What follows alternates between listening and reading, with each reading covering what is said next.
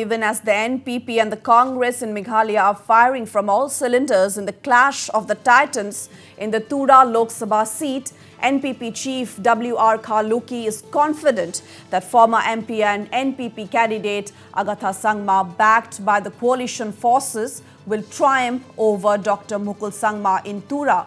The combined force of the MDA coalition is up against political warfare against Congress leader Mukul Sangma in Tura and sitting Congress MP Vincent Pala in Shillong.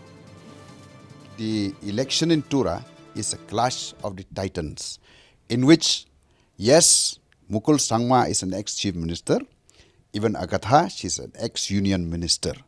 So I don't doubt that in spite of the clash of the titans, I think our candidate will be success. Further, NPP chief W.R. Kharlukhi is of the view that the NPP will put the Congress in its place yet again, as was the case with the MLA and recently concluded MDC election. We are very sure that we are going to win Tura seat and we're going to win Shillong seat. And the recently concluded election in Jaintia Hills the Jaintia Hills Autonomous District Council and Khasi Hills Autonomous District Council in which the Congress was put in place and they lost the election.